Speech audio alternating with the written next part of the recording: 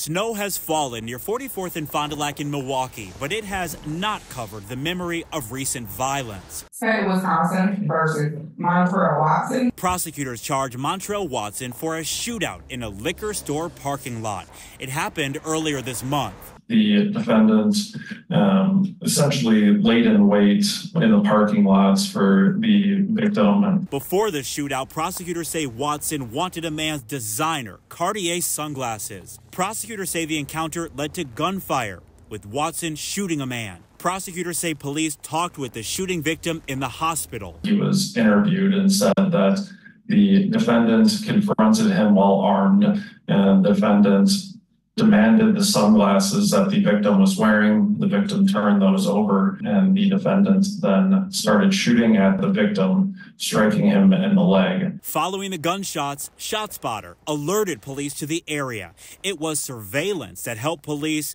piece the puzzle together. Most importantly, this is an individual who is not supposed to be in possession of a firearm in the first place and then now has committed acts. Before a court commissioner set bail at $30,000, an attorney for Watson shared this. Uh, a strong work history working through staffing agencies and lives here in Milwaukee with his mother. Um, he is a lifelong Milwaukee resident. People who live and work in the area where this shootout happened say this does not represent their neighborhood. They say this behavior is disappointing and they hope it doesn't happen again.